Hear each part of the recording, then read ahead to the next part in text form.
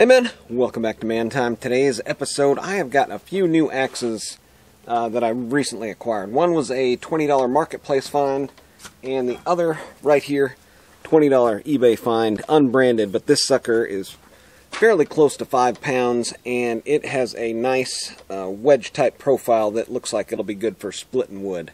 Let's get some handles on these, get them fixed up. This one uh, very loose on the handle. I do want to try to save the handle though. It's a pretty nice handle.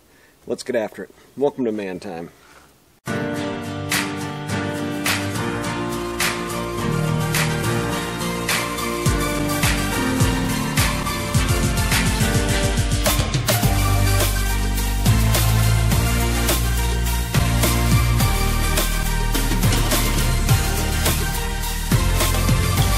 Yeah, so I've got a few things that are going to be coming up on the channel uh, to include building a, a, firewood rack or two. I've got a bunch of scrap steel, uh, some old pipe that was ripped out of a building, and some other stuff. Maybe I can figure out a way to weld that all together to make a firewood rack. Uh, but I do actually need a uh, good splitting axe. I was using my uh, Plumb Cruiser axe as, as a splitting axe, and it did okay but uh, I'm looking for maybe something a little bit different. So this one here, um, it's got kind of a fat profile. And one thing you can do here, if you want to turn like a regular axe into more of a splitting axe, which is probably what I'm going to do here, is like take off, you know, the first half inch or quarter inch of that profile and bring it back to where it's actually a little bit fatter. Um, that'll help out a little bit. But I've got some nails that were installed in this one to to keep it, you know, together. uh, I may have worked on this axe. Who hasn't done that before, right? So there's one there. Um, let's see, what else do we got in here? Uh, some other little stuff. And what you can do is if you've ever seen these screwdrivers with a full tang like that, you can use that.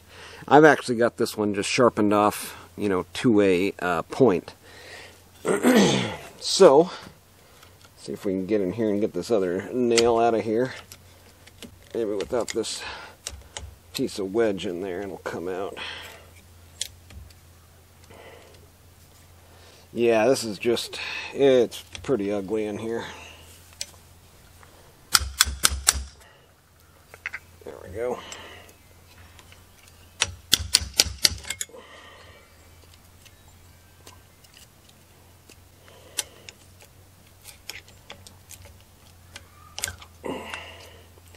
Yeah, would be nice to save this handle, but man, I'm going to have to take off a lot of meat here to get this.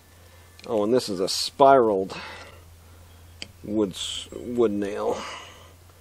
So it is going to be extremely difficult to get out of there.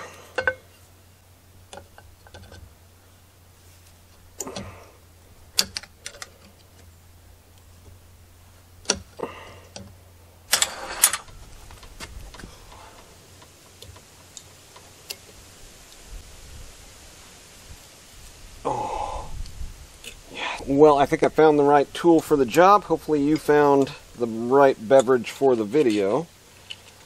And this is my Klein & Sons now. Went in here just really gentle like. I don't want to screw this one up. But reaching on it, there we go. It's like an old pallet nail with those swivels, you know, going down into it. And what else do we got down in here? More pieces of wedge. Um, let's see here. Yeah. Looks like most of the wedge is out of there already.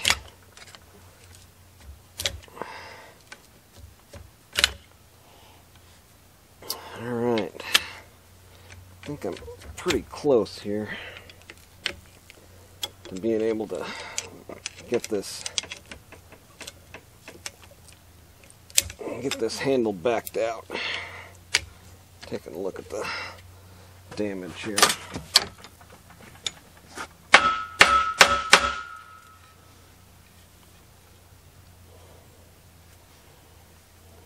No more metal in there. Yeah, here's uh, here's what it looks like It is in pretty rough condition.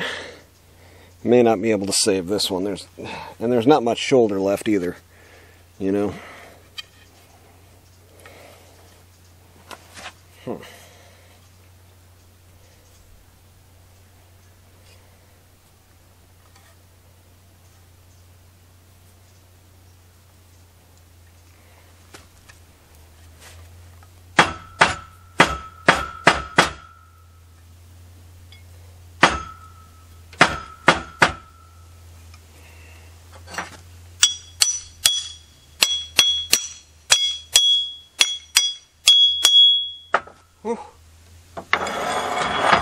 Goes right to inner eardrum.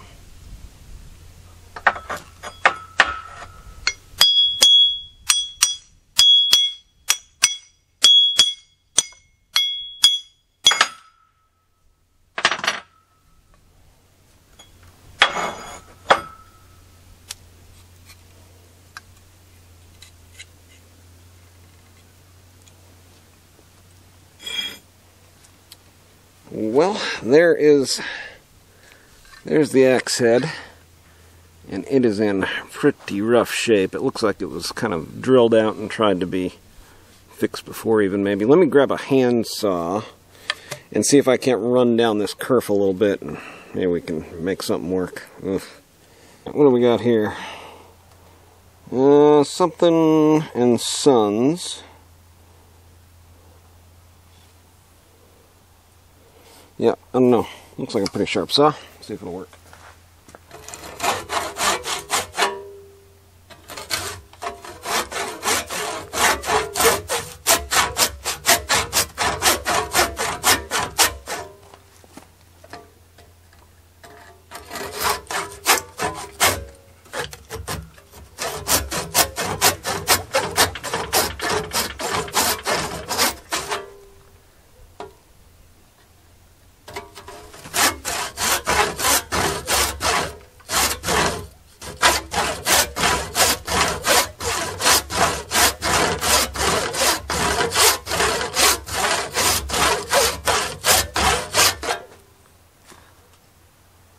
And I don't know what is down there, but that does not feel like wood. It's not dulling my blades, so just keep going. Yeah, so this axe handle, it seems like it's old, but it's actually probably not. And from what I've seen, uh, some of the diamond edge stuff, um, or maybe stuff with a diamond on it, it has like uh, also made in China on it. But this one has diamond edge and then forge something below it. I don't know exactly. I don't know exactly, but some of these have been known to be made in China even though they look old, so. Uh, tools to get this seated down a little bit lower. Um, main tool I'm going to use here is a 4-in-1. And then for this other axe head with a really nice jersey pattern, um, I went out to I think Tractor Supply. And this one here has a really nice swell and a really nice and skinny uh, grip down here at the bottom where I'm just just able to touch with this finger all the way around you know. And uh, let's see. This one is made in USA it's called a house handle. House handle made in USA single bit 1636 double A. Really nice uh, made in USA uh, some amount of heartwood in it but these are really nice once you peel this laminate off of there and then put some um, boiled linseed oil on there. Now I've got some better wedges. The wedges that come with this are not great. Let me just show you. It's like a it's like a dang balsa wood. Um, and I ordered some off of eBay, like a 10 pack. Um, let's see here. And I've got I've got a couple right here and they are much, much nicer. Much, much, much, much nicer. I think the ones that come with the axe handles are poplar, uh, maybe something a little bit different, but basically the cheapest wood that you could possibly make something out of, you know. So, There's somebody on eBay supplying these ones that are uh, much, much, much, much better quality. Oh, look, beaver tooth. Beaver tooth. That's where we get these from. 20X. Yeah, order them in like a 20 pack. But yeah, just basically, basically went on eBay and got some. You can see it's a much, you know, darker wood. Um, this stuff here, you know, this is actually a good piece of wood. So use that as my, my wedge.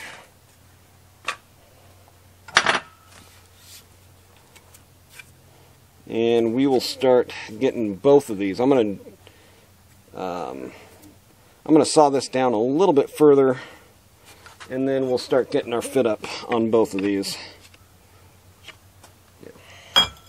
Alright, well I started driving this one down and you can see there now how much reveal we have. I think I should be able to get another, yeah, it, it's not, it's seating past the, it's seating past the shoulder of it, you know. So I don't want to go too much further. I'm just driving it, yeah, driving it kind of past where it's supposed to be seated. Huh. Well, maybe I can get a little bit more on it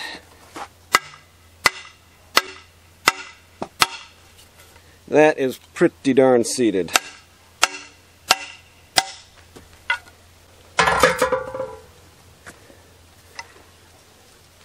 Yeah, I think I'm going to go with that. Try to get a wedge in here and call it good. It's actually better, probably, to have had that happen. Um, yeah.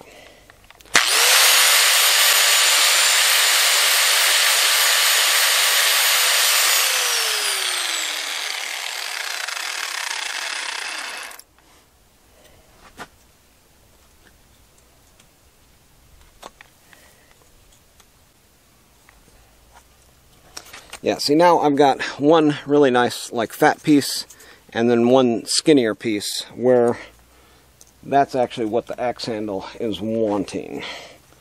But it's still a little tight, you can see there. It's not wanting to go down on this front edge.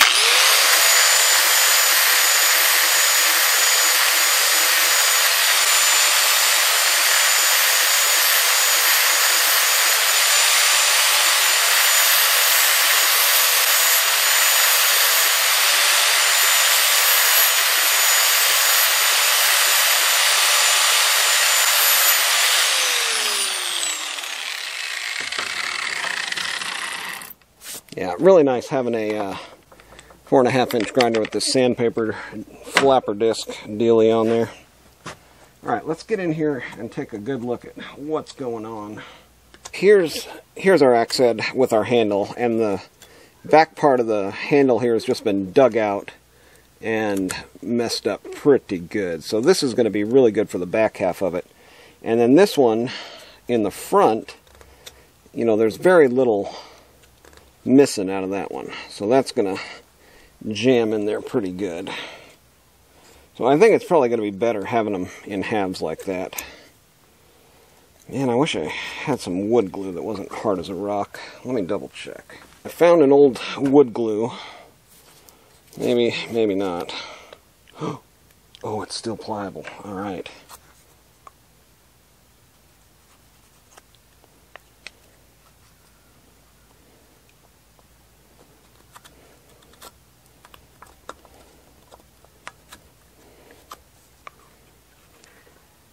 Yeah, for a while there, uh, well, most of the time, I didn't run wood glue. Um, but it does two things. It kind of lubricates it as it's going down, and it actually, you know, helps hold it in there. So we will run with the wood glue this time around. Yeah, very nice.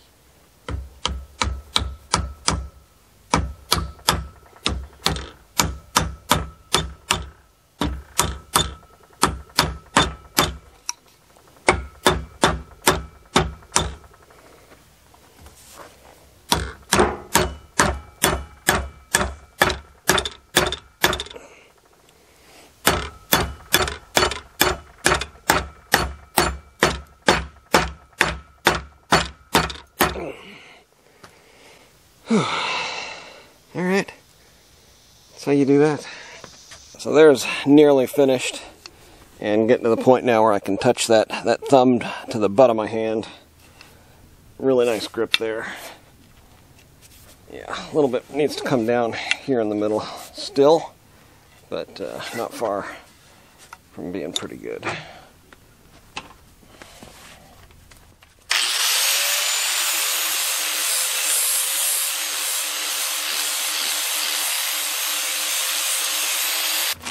Yeah, sometimes it's not the best decision making just to uh, barrel into a project without the proper safety equipment.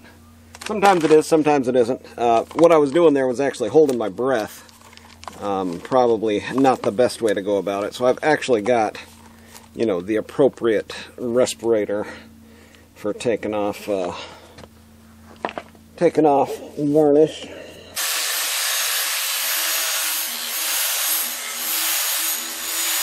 Yeah, the varnish on this handle is pretty severe. Um, and it's clogging up my wheel pretty good. Let's see if we can clean this out maybe with a file card. I got one axe down, one to go. And this one here is going to be a little bit tricky. So it needs to be thinned out. Yeah, first thing, I just need to start thinning it out, like toward the back here. And I'd love to say, like, you know, using traditional methods and all that, four and one. yeah, right. That's why they got tools like this nowadays.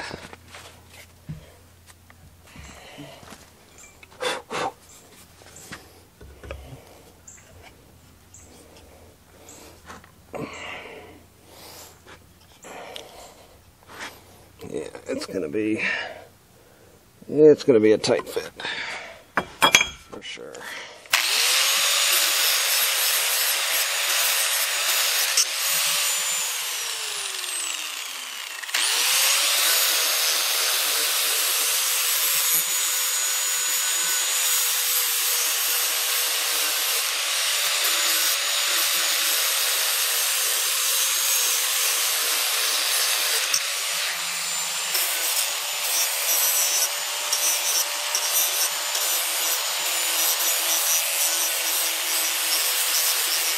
All right, we are getting closer and closer here. Here's our uh, jersey pattern axe head, and as you can see here, it is coming together pretty nicely. Uh, almost up. We've got maybe another 3 eighths of an inch to go. Let me bang it down here a little bit and see where we end up.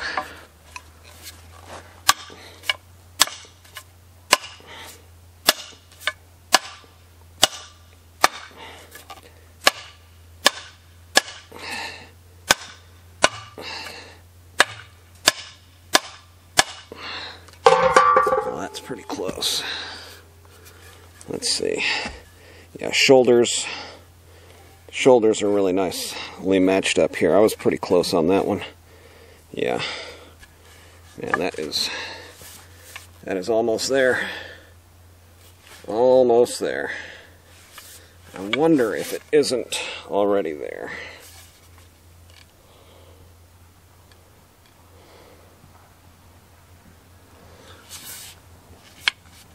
That may that may be there. Yeah, I think I'm to call it good there. Yep. Just a few more things to finish up here before the sun goes down and we can split some wood. I want to get a couple of these in here. Um, kind of work with the bias.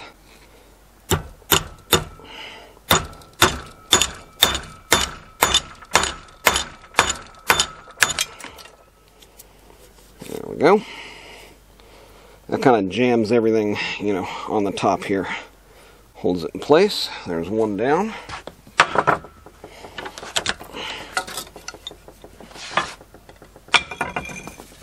Yeah, you can see there the benefit from using that four and a half inch angle grinder as your primary tool there. Um, you can sharpen sharpen your axe once you get done. Good all the way around.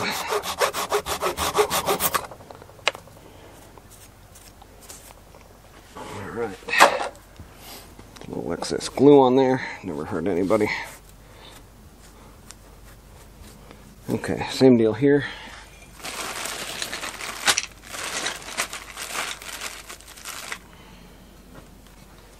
and we'll just kind of set it basically the exact same way cross cut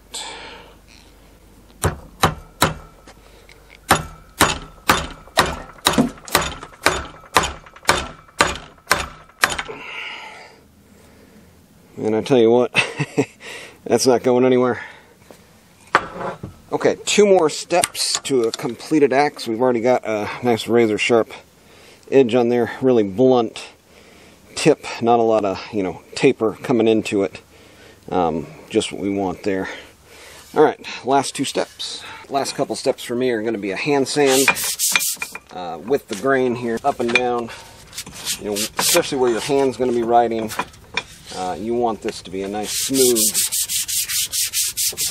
you know, smooth transition to the palm.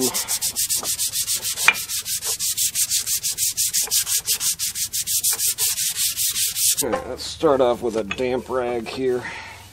This will give us an idea too of what the colors are going to look like in the in the wood. Just want to get all that sawdust out of there.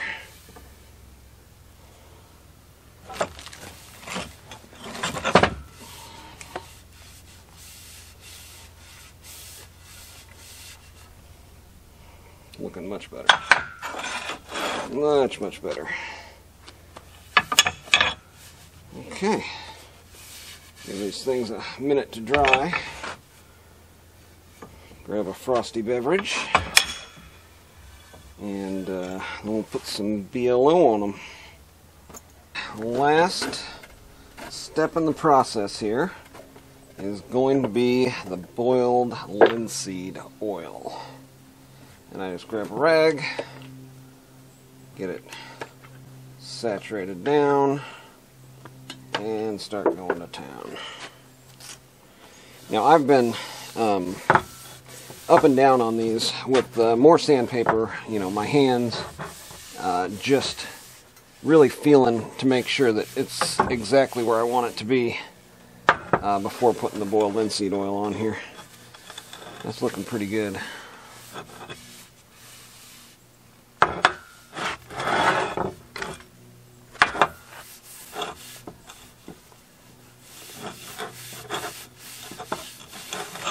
Yeah, and I've made the mistake of putting this on too thick uh, before, so I just do a nice light coat like this and uh, call it a day. Both of these have a really good feel to them. Really good feel.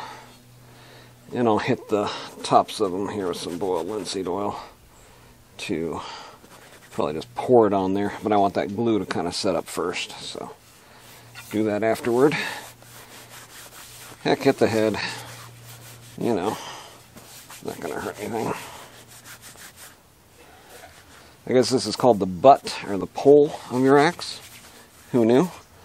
One of my subscribers out there, for sure, JCC. Shout out, my man. Look at that beautiful thing. Diamond Edge. If you guys know who made Diamond Edge, I did a bunch of searching online and couldn't find anybody. Um, one company, kind of called Shapleigh, uh, was mentioned as making some Diamond Edge or Diamond products. Um, don't know for sure. So, if anybody recognizes this one, it's a no-name, just a big wedge of an axe. Uh, like I said, this one's closer to uh, five pounds should be a perfect splitter, which is what I'm looking for. Nice and fat, nice abrupt edge, very little taper, and very sharp using that uh, flapper wheel. We'll just go straight with that. Uh, normally I would touch it up with a stone. These are not splitting axes.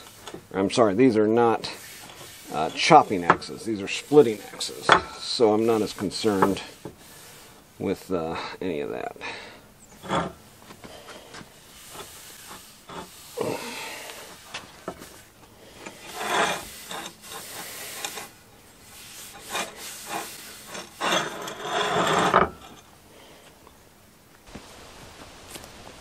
Alright man, I have let these axes cure up overnight and now we're going to try both of them. I was swinging them around a little bit last night, get a feel for them.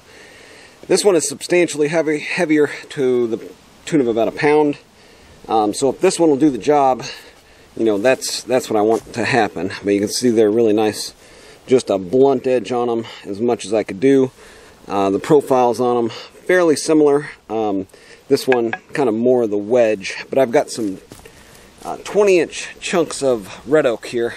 Let's start off with the lighter one and then go to the heavier one and see which one does better. Alright, just managed to save this axe handle, which is really nice because now I've got an additional you know, wedge banger axe that will also double as hopefully a good firewood axe. So let's check it out here. Um, don't see any knots.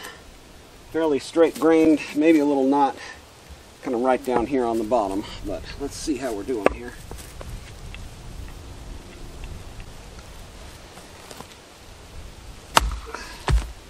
And this this oak, oh man, is it is it hard.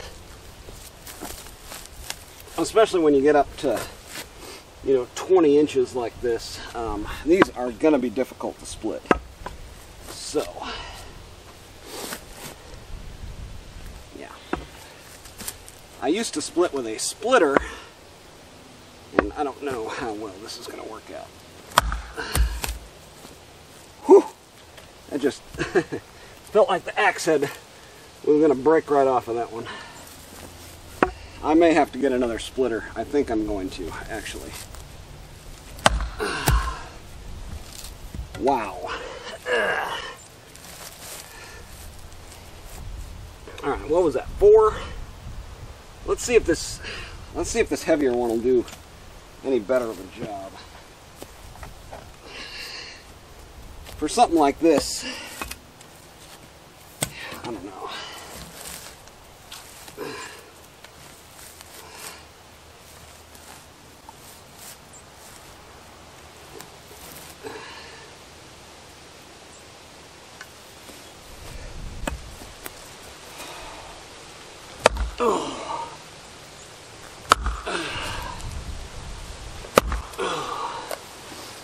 Yeah, the the weight definitely has an advantage uh, for this heavier axe.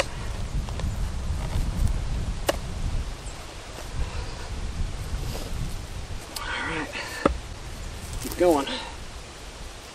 Oh, yeah. But yeah, red oak is a very stringy wood. And you can see here, you know, and this one is this one is all knotty. So that axe actually did a very good job. You can see there when it starts to bend and twist like that, that's the hardest splitting stuff. And we did have a big knot down here at the bottom. Boy, that is wet. All right, let's uh, let's give the lighter one one more shot on this one. But as far as it goes, I think I'm going to be better off, especially for the bigger stuff with this bigger one both the both the profile and the weight of that bigger one are going to make it a better splitter. But let's see.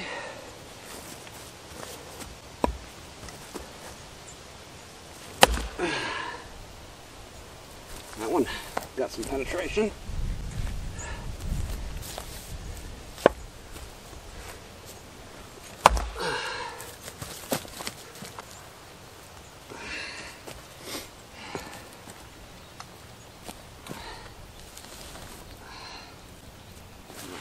this side here.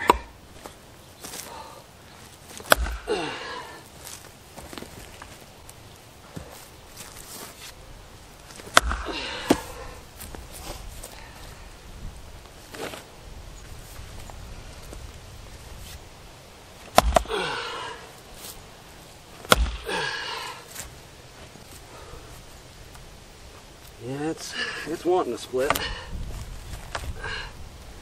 It is wet too. I mean, red oak typically splits a little bit better after it's cured in uh, in rounds for a little bit.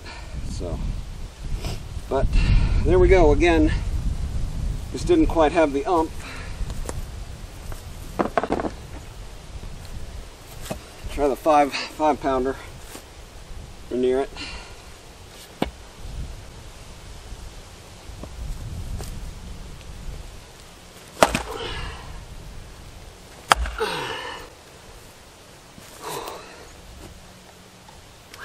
Chunk of it to break free.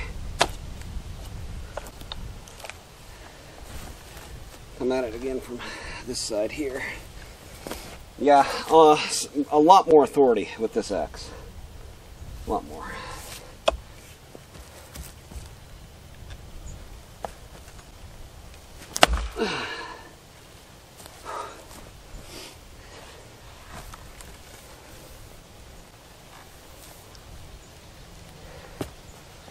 Give it one more. See if I can line it up a little bit better here.